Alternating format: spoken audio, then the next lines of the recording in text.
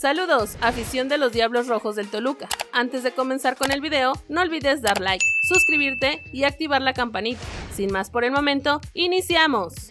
¿Qué debe pasar para que Leo Fernández deje al Toluca? Luego de los rumores que han surgido, te decimos que debe pasar para que Leo Fernández deje al Toluca. Para el torneo Apertura 2023 las especulaciones siguen alrededor del mediocampista uruguayo y un adiós con los Diablos. Desde varios puntos han indicado que los Tuzos de Pachuca o Rayados de Monterrey como los interesados en Leo Fernández. Sin embargo, hasta el momento no parece haber una oferta formal por el futbolista. Desde otros puntos como el periodista argentino, César Luis Merlo y Adriana Maldonado de SPN, expresan que el futbolista solo saldrá por una oferta bastante atractiva y que convenga para todas las partes. ¿Se va o se queda Leo con los Diablos? De esta forma, te decimos que debe pasar para que Leo Fernández deje al Toluca, de cara al torneo Apertura 2023 en la Liga MX, el futbolista uruguayo está sonando para dejar las filas del cuadro escarlata. Actualmente Fernández tiene una evaluación en el mercado de 8,5 millones de dólares, de acuerdo con la página especializada Transfer Market, mientras que los Diablos estarían buscando una cifra similar para pensar en traspasarlo.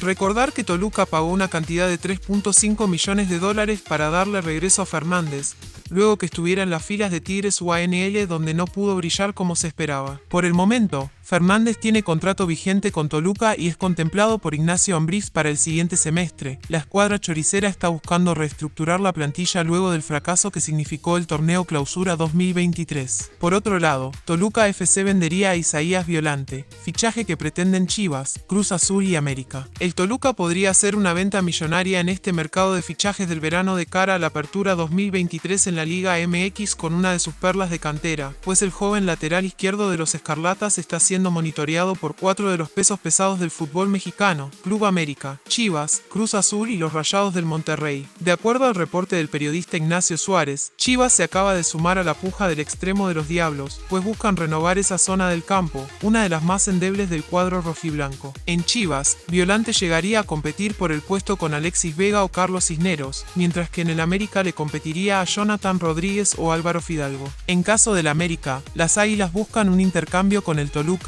cediendo a Salvador Reyes. En el Clausura 2023, Violante solo jugó 5 partidos con Toluca, registrando un gol. Violante fue habilitado como delantero centro y extremo por izquierda. Con los Diablos suma 24 partidos en primera división y solamente un gol. En el equipo sub-20, Isaías ha marcado 10 goles en 54 cotejos. Por último, Toluca inicia pretemporada. Los Diablos Rojos reportaron ayer por la mañana en Metepec para realizar un entrenamiento y arrancar formalmente la pretemporada, con miras a la apertura 2023, luego de que en los días pasados el equipo cumplió con las pruebas correspondientes. El plantel se dividió en cuatro grupos para acudir de forma escalonada a las instalaciones de medicina del deporte de la Universidad Autónoma del Estado de México, donde se realizaron las pruebas de esfuerzo y pruebas físicas de rigor previo al arranque de la pretemporada. Con ello, el equipo está listo para encarar lo que será una etapa de preparación con intensidad y alta exigencia, pues se contemplan dobles y triples sesiones en Cancún, Quintana Roo.